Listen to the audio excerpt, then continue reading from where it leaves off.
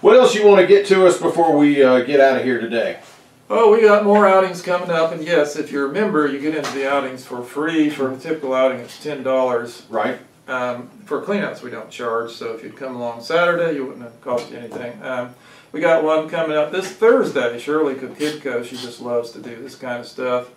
She's uh, doing one uh, from Allen Ramp to Suwannee River State Park, the lower part of the Withlacoochee River. Mm-hmm. And on August 10th, we're going to have one on the Alapaha River. Shirley is organizing this from US 41 down to Gibson Park on the Suwannee. That's the part of the Alapaha that's dry part of the year. Right Mhm. now, it is definitely not dry. Yeah.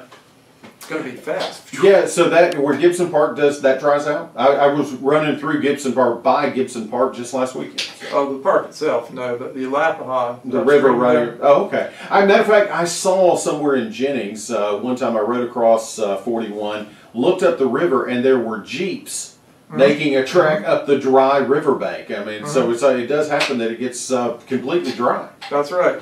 There's a there's a big sinkhole uh, east of Jennings. There's Mhm. something called the Dead River. Yeah. which is like a tributary, but the reverse. It's a distributary. The Alapaha goes into it, Mm-hmm. winds about a quarter mile through the woods, and goes into this huge sinkhole. Yeah. It's like 50 feet wide. And comes back up about three days later in the Alapaha River Rise, which is a first magnitude spring on the Suwannee, a little upstream from Gibson Park. Wow, that's interesting.